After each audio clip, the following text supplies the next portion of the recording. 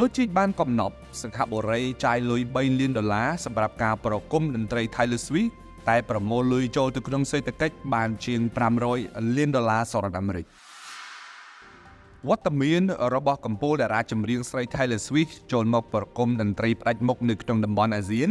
ដែលមានសង្ហបុរីជាប្រទេសតែមួយគត់ដែលទទួលបានសិទ្ធិនេះវាคล้ายទៅជាប្រធានបទក្តៅមែនទែនដែលធ្វើឲ្យប្រទេសជិតខាងភាគច្រើនមិនសូវសប្បាយចិត្តប៉ុន្មាននោះទេដោយសារតែវត្តមានរបស់តារាចម្រៀង Taylor Swift បានคล้ายជារលកកំសួលសេដ្ឋកិច្ចដែលអ្នកសេដ្ឋកិច្ចភាគច្រើនហៅកំសួលនេះថា Swiftonomics ដែលជាកំសួលលុយហូរចូលទៅក្នុងសេដ្ឋកិច្ចតាមរយៈការប្រគំតន្ត្រីរបស់តារាចម្រៀង Taylor Swift គេហទំព័រ Statistic Time បានរាយការណ៍នៅទិន្នន័យចំណូលចុងក្រោយដែលទទួលបានពីការប្រគំតន្ត្រីនៅក្នុងប្រទេសសិង្ហបុរីបានឲ្យដឹងថាទំហំសេដ្ឋកិច្ចដែលហូរចូលទៅក្នុងប្រទេសសិង្ហបុរីមានរហូតដល់500លានដុល្លារសហរដ្ឋអាមេរិកហើយប្រាក់ចំណូលសុទ្ធដែលបានមកពីការលក់សម្បត្តិ គឺមានរហូតដល់11.3លានដុល្លារសហរដ្ឋអាមេរិកហើយកំសួលមួយនេះបានជះឥទ្ធិពលដល់បរិយាកាសសេដ្ឋកិច្ចសិង្ហបុរីយ៉ាងធំសម្បើមក្នុងនោះរួមមានដូចជាសេវាកម្មដឹកជញ្ជូនកើនឡើងរហូតដល់40%វិស័យម្ហូបអាហារកើនឡើងរហូតដល់10%ការស្នាក់នៅកើនឡើងរហូតដល់25%ជើងហោះហើរកើនឡើងរហូតដល់196%ការកក់បន្ទប់ស្នាក់នៅ កើនឡើងរហូតដល់462%ហើយការកក់ទេសចរនៅក្នុងប្រទេសសិង្ហបុរីកើនឡើងរហូតដល់2373%នៅក្នុងការប្រគំតន្ត្រីដ៏ធំមួយនេះប្រទេសថៃគឺជាប្រទេសមួយក្នុងចំណោមប្រទេសនានានៅក្នុងតំបន់អាស៊ានដែលមានមហិច្ឆតាចង់បាន Taylor Swift មកប្រគំតន្ត្រីនៅក្នុងប្រទេសរបស់ខ្លួនដោយការពីថ្ងៃទី16ខែកុម្ភៈលោកនាយករដ្ឋមន្ត្រីថៃ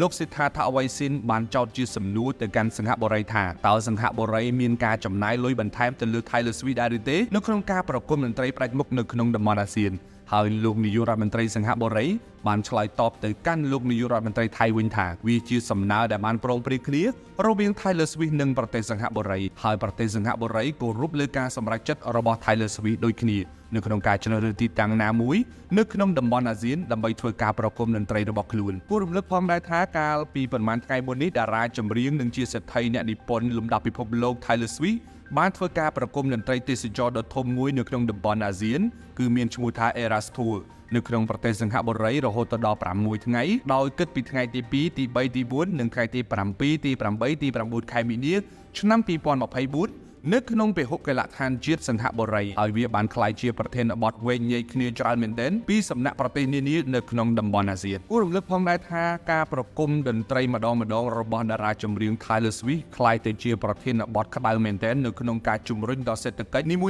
យៗនៅតាមប្រទេសនានាដែលក្នុងនោះតារាចម្រៀង Taylor Swift ធ្លាប់បានបំបែកកំណត់ត្រាខ្ពស់បំផុតនៅក្នុងពិភពលោក ដែលជាកម្មវិធីតន្ត្រីដែលអាចរកប្រាក់ចំណូលបានរហូតដល់1000លានដុល្លារសហរដ្ឋអាមេរិកពីការលក់សំបុត្រហើយក៏មានចំណូលរហូតដល់5000លានដុល្លារចូលទៅក្នុងសេដ្ឋកិច្ចសហរដ្ឋអាមេរិកផងដែរដោយគេប៉ាន់ស្មានថាអ្នកដែលអាចចូលរួមនៅក្នុងការប្រគំតន្ត្រីរបស់ Taylor Swift បានសម្បត្តិគឺតម្លៃចាប់ពី